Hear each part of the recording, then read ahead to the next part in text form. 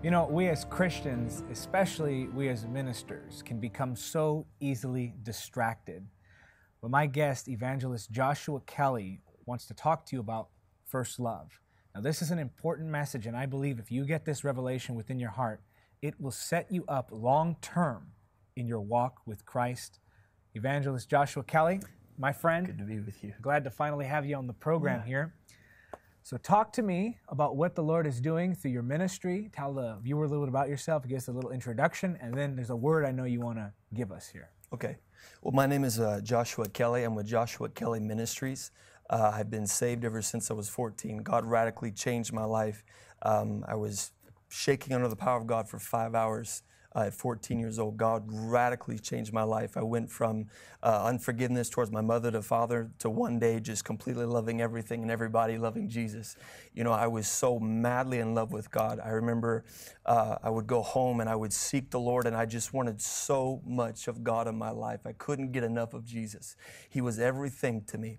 Um, I always knew uh, I had this thought process in my mind where if I lost everything, if I lost my family, I knew that I still had everything because I had Jesus. And that was the most important to me. And so um, I, I, didn't really want to be in ministry, but God called me because I loved Him so much. I said, God, I'll do anything for you. So God really started using me to preach when I was 16 years old. When I was 17, I went to uh, Kenya, Africa, and I started preaching in crusades there. Um, I also went to orphanage there, but that was the start of of the ministry that God had given me. I didn't really know how to preach. I didn't take any steps. I didn't go to a college, but all I knew was that I loved Jesus with all my heart and I wanted him to use me. Wow. And so, um, and so after that, God uh, uh, started. Uh, he told me to go with my grandfather, who's also an evangelist, and he travels through California, Pennsylvania area, you know, uh, around America. And uh, God used him to mentor my life, to get my character straight, to really um, uh, bring myself under authority and so after that, um, actually last July of last year, uh, so this July would be one year, God told me to cancel everything. I was supposed to go to Cuba. I was supposed to go to Nicaragua, uh, uh, different countries and different places. God said, cancel everything. I want you to seek me for an entire year. Now, that would be hard for some people to do. Yes. Because a lot of evangelists would do anything just to have yeah. bookings. And here you had some lined up, and the Lord said, cancel them all. And what did you yeah. do? I canceled them. I canceled him. I went, I canceled him. I went home and uh, I said, God, you know, I'm going to seek you with all my heart because I knew that when God puts you in a season like that, it is for a purpose. Everything that God puts you through in this life is for a purpose. It's for a reason. So if we go through trials, if we go through tribulations, that's why the Bible says to rejoice in our trials, to rejoice in our tribulations, because there is something in that trial, there's something in that tribulation that God is going to teach you that is going to prepare you for your future. Wow. Wisdom is far greater than money. When you get wisdom, that can be the very key that keeps your longevity as a Christian. Not just as a, as a minister, but as a Christian. And some people try to skip that process. Exactly. And yes. hurt themselves in the long run. Yeah. So tell me now about this word that the Lord put on your heart. Yes. About first love.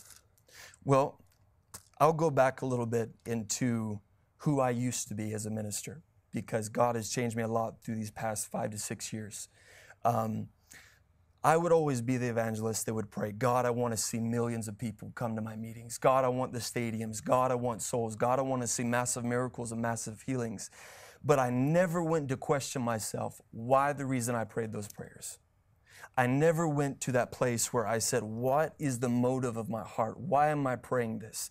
Why am I even getting in my prayer closet? Why do I go to church? Why did I even become a Christian? Why did I allow all this in my life? I had to go to square one where I had to find the reason why I was serving Jesus. And I can tell you the truth, and I'll be completely honest with you, it was all for myself. I came to this place where God stripped me of everything, even the last couple of years. He stripped me of everything. And He said, Josh, until you see that I'm number one in your life, until you see I am the thing that you need the most, you will never be effective in ministry. Knowing Jesus as number one in your life, above the money, above, if, for example, if God told you right now, I'm going to strip away your ministry. I'm going to strip away your money. I'm going to strip away your family. Everything that you have, I'm going to take away from you. How would you act? How would you act? What would you do if God took everything away from you? What would you do if God took away your family, if He took away your car, if He took away your job, your finances, everything that you hold dear most? Would you still worship Him? Would you still serve Him? Would you still love Him as your Savior? And so that's where God had to bring me in my life. He had to bring me to a place where Jesus became number one in my prayer life, in my preaching, in my personal life, when I'm around uh, other Christians, other ministers. Jesus had to become number one. And now, because of that, because I see him as number one in my life, my whole relationship has changed. Whether I'm able to preach in a church is fine, but what I love most is to get in that closet, to get in that place with the Lord, to get in that secret place and know that I am with Jesus. I pray every day that God would make my life a living image of who Jesus is because I know that if I can love Jesus with all of my heart, with all of my mind, with all of my soul, that I can be a representation to others of who Jesus is, and that it's a process that goes on uh, like a like a like a chemical reaction. It goes on and on and on and on and on. And so, when you love Jesus with all of your heart, with all of your mind, with all of your soul, that is the greatest commandment. Jesus said that is the greatest commandment to love God with all of your mind, with all of your heart, with all of your soul. If you can follow that commandment, you can follow the rest of them. That is so, so true. When you know how to love God, not only will you say no to sin, but you will not have a desire to sin. That's holiness. Holiness is not the fact that you say no to sin. Holiness is the fact that you have no desire for sin. Wow, say that again. Holiness is not the fact that you say no to sin. There was a man of God that said this. He said, Holiness is not the fact that you say no to sin. Holiness is that you no longer have a desire to sin when that woman comes by you, you're, you're, you're not having to struggle to look at her. When, you're, uh, when you see money on the ground, you're not having struggled to steal it because that is no longer a part of who you are. The Bible says that He renews our mind. That is a part of what holiness is, is when you come be so captivated by Jesus. You're so in love with Jesus. You're so co- uh, consumed with Jesus that everything in you becomes like Him. I notice that when I get in that place of prayer, and I just, you know what my number one prayer is? And I'm saying this that this will be your number one prayer. My number one prayer is that Jesus, I want to know more of you. Before I ask for the miracles, before I ask for the uh, um, um, for preaching engagements, before I ask for the crowds, the stadiums, and all this different stuff, I ask Jesus, I want to know more of you. I believe the key to any uh, uh, the key to longevity in any ministry is having a love for Jesus. There's many ministers out there today, David. They love the miracles, they love the signs and wonders, they love the healings, but how many times will they actually just say, Jesus, I love you. Jesus, I adore you. Jesus, I worship you. Just to take time and say, Jesus, I thank you for all that you've done for my life. You see, the way that we adore God, the way that we worship God, is evidence of our prayer life. It's evidence of how we communicate with God in the secret place. And so it is, you may be a minister watching right now and you say, you know, I feel an emptiness inside. I feel like, you know, I, I go to these meetings and I go to these miracle services and I do all this stuff, but I still feel like I don't know the one that I'm serving. Can I tell you that just a simple prayer, just simply saying, Jesus, I want to know you more, God will open the floodgates of heaven on your life. He will show you who He is. And one of the parts that He showed me when I started praying those prayers, He started giving me a heart for souls. And what I mean by that is this I'll give you a story. There was one day where I was in my, um, I was praying to the Lord and, and uh, I said, God, I want a heart for souls because I know that who you died for, that is your reward. That is who you want. And so I started praying. I said, God, give me a heart for souls. And immediately God put an image of a man in Africa in my mind. I had no idea who he was. I had no idea what part of Africa. I'd never heard his name. But the Lord showed me an image and he said, Josh, this man is about to die and go into hell. Pray for his salvation. Wow. And all of a sudden, this burden for souls came in my heart, and I began to weep and I began to cry. And I said, God, please save this man. God, please don't let him go to hell.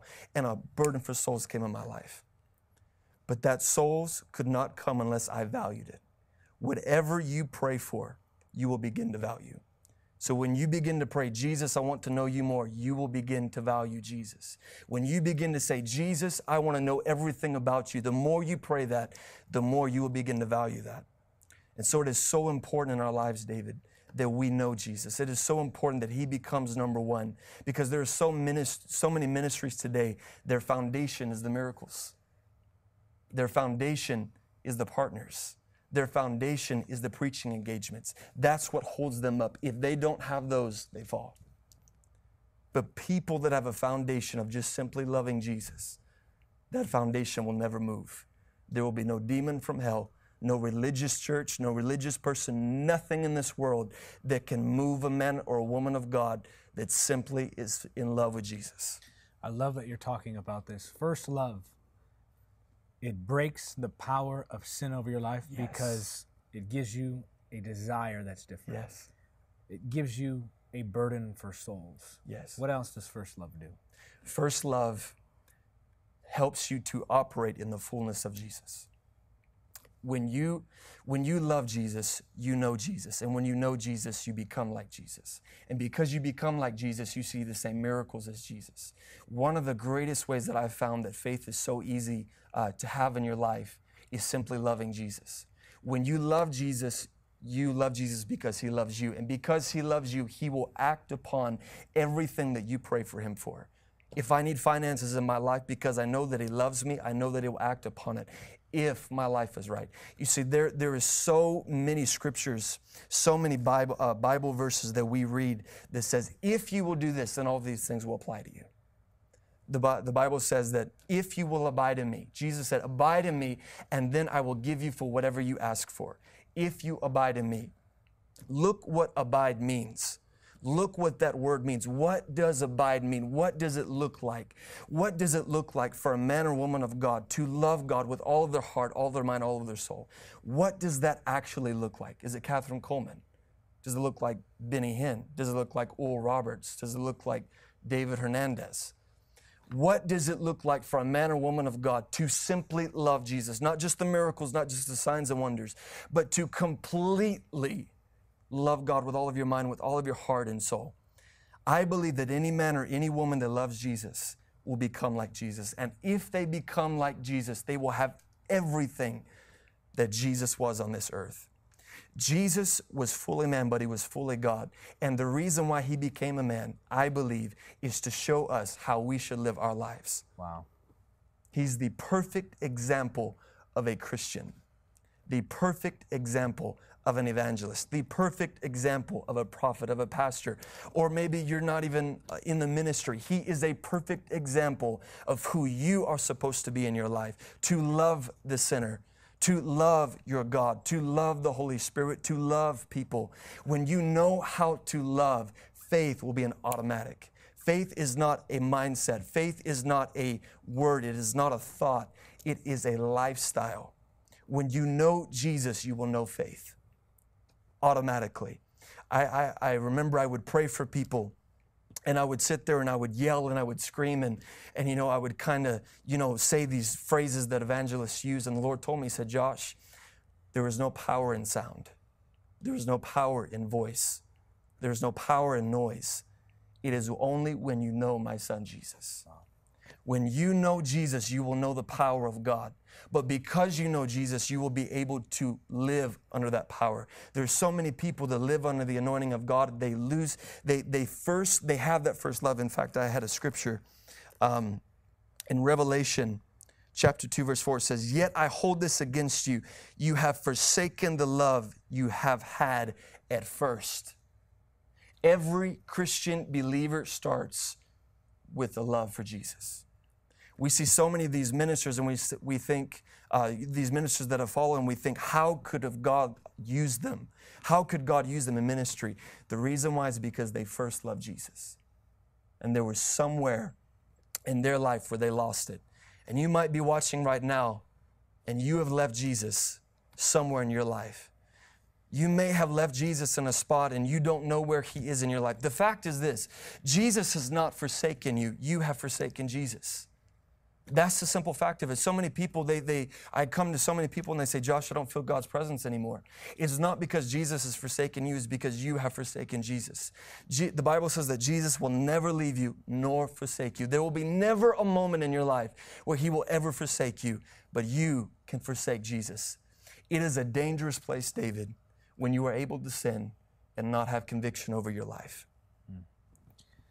There's somebody watching and they're saying, I want to have that power over sin. I want to have that burden for the lost. Yeah. I want to have that power in my life. I want to have that first love. Talk to that one watching right now who desires that. The only way to kill the desire of sin is to replace it with a love for Jesus. In my life, I tried to find, I was addicted to pornography, I was addicted to lust, I was uh, always uh, being mean to other kids in my school, just living a life of a sinner. Even as a Christian, in my early years as a Christian, I was living that life. And I would ask God every day, God, how do I live a life without sin? And the Lord told me simply this when you learn to love me, you will learn to hate sin. There must be a moment in your life, there must be a, a, a moment in your life right now where you love Jesus so much that if sin came to you, not only would you be able to say no, but you would have no desire for it. God wants to use you in a mighty way. God wants to use you. Maybe you're an evangelist, a young evangelist watching, and you have an addiction in your life or you have sin in your life, and you're saying, Josh, how? How do I get this sin out of my life? Surrender yourself to God. Yield yourself to God. You've got to come to a place, my friend, where you love Jesus. Michael Koulianos said this. There was a man that came up to him and he said, what would you say if Jesus came up to you right now? Two words. And Michael said this. He said, In two words, I would say, don't go. You've got to come to a place where Jesus is first in your heart, in your mind, and in your soul. When Jesus becomes first, that sin will never have power over your life again. Anyone that values something enough, they will never allow anything to get in the way of that. Do you value Jesus in your life? Have you fallen away from God? Where have you left Jesus in your life? Maybe you're a minister and you have fallen away from God and you used to be a pastor. You used to be an evangelist, but now you've fallen. Can I tell you that you have lost your first love? Go back to the cross, go back to the blood, go back to where Jesus first touched you. My friend, it's not about all the miracles. When you get to heaven, it's not going to be about the miracles, it's not going to be about the healings. That's Jesus anyway. But do you love Jesus? Do you love Him with all your heart? Is He number one in your life? I want you to pray this prayer after me, and I want you to mean it with all your heart. Say, Jesus, I ask you to become number one in my life. God, get all the things out of my life that distract me from loving Jesus. Change my prayer life.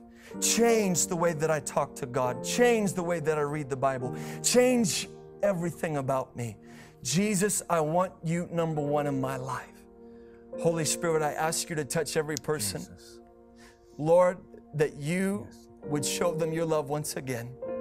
God, that you would show them that not only must they love you, but you love them. God, I ask you to take away that desire. I break every addiction off of their lives. I break the bondage of sin. I break the power of sin over their lives in the name of Jesus. I command every stronghold to be broken. God, I ask you now in the name of Jesus that you would set your people free. There are people that are living in a desert, they're living in that state of Egypt. Father, I ask you to bring your people home, bring your people back to the cross, bring, bring your people back to their first love. Let these pastors, evangelists, prophets, men and women of God who have lost their first love, let them come back to you in tears. Let them spend hours with you once again, Lord. Let them be in that place, that secret place with God, where they are where they are weeping because of how much they love Jesus. Let the songs return. Me and David were just singing a while ago, Jesus, Jesus, Jesus. There's just something about that name. We sing that because we love him so much. Father, I pray the songs would come back in their life in Jesus' name. And Father, maybe those that don't know Jesus, I pray, Lord, that you would reveal yourself to them in the name of Jesus. So, Lord, we lift that one watching now. Yes. Who, by this message that you're speaking to your servant, is convicted by the Holy Ghost. And Father, we pray right now you would set their hearts ablaze. Set our hearts on fire again, Jesus. I pray, Father, that you would cause them to look to Jesus and live, to look to Jesus and receive power life and joy and peace. And we thank you, Father, that you're doing this now by your Holy Spirit. And we thank you, Father, for new beginnings. We thank you for your mercy, Lord. Yes. And I pray in Jesus' name, today, this moment, would be a marker in their spiritual journey. Let this day be recorded in heaven, Lord. And let this be a transforming moment. In the precious name of Jesus, we pray. And I want you to say it if you, if you believe it, agree. Say, Amen. Oh my goodness, my friend. There's an anointing on you for sure. Joshua Kelly. Thank you so much. Thank you so much.